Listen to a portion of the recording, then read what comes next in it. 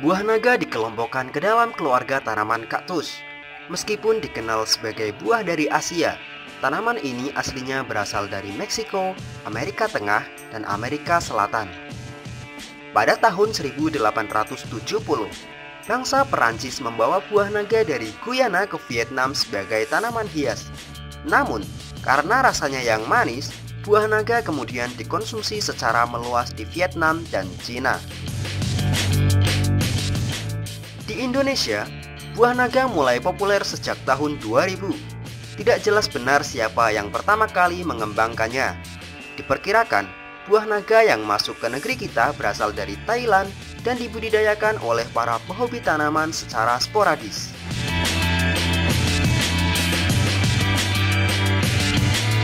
Budidaya buah naga sangat cocok dengan kondisi iklim dan alam Indonesia.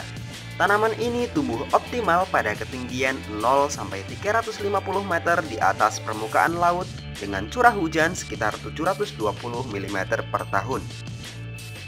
Suhu udara ideal bagi pertumbuhan buah naga berkisar 26 sampai 36 derajat Celcius. Untuk mempelajari cara budidaya buah naga, yang pertama kita harus belajar bagaimana caranya memilih bibit buah naga.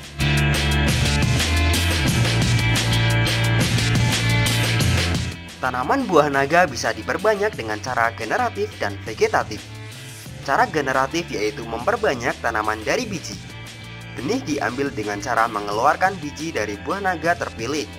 Cara ini sedikit sulit dan biasanya dilakukan oleh para penangkar berpengalaman.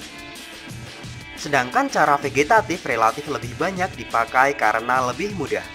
Budidaya buah naga dengan cara vegetatif lebih cepat menghasilkan buah. Selain itu, sifat-sifat tanaman induk bisa dipastikan menurun pada anaknya.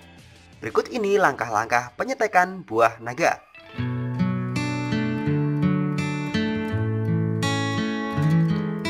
Penyetekan dilakukan terhadap batang atau cabang tanaman yang pernah berbuah setidaknya 3 sampai 4 kali.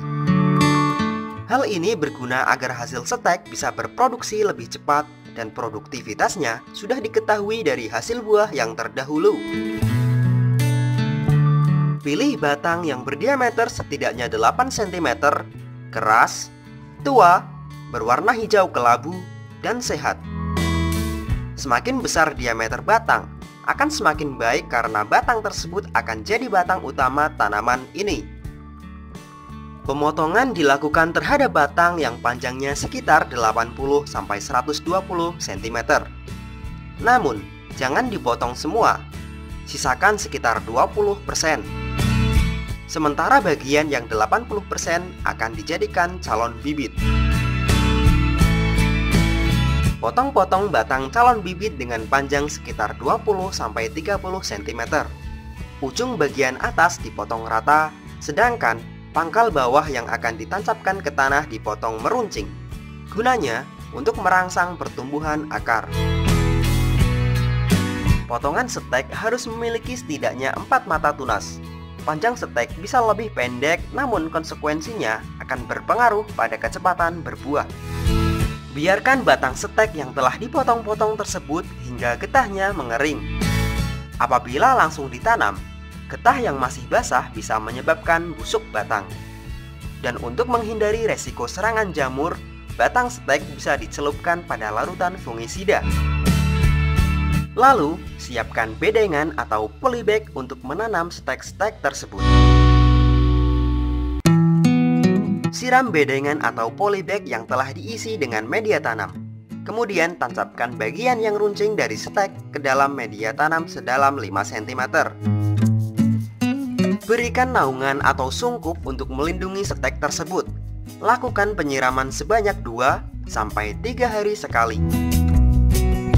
Setelah 3 minggu, tunas pertama mulai tumbuh dan naungan atau sungkup harus dibuka agar bibit mendapatkan cahaya matahari penuh. Pemeliharaan bibit biasanya berlangsung hingga 3 bulan. Pada umur ini tinggi bibit sekitar 50 sampai 80 cm.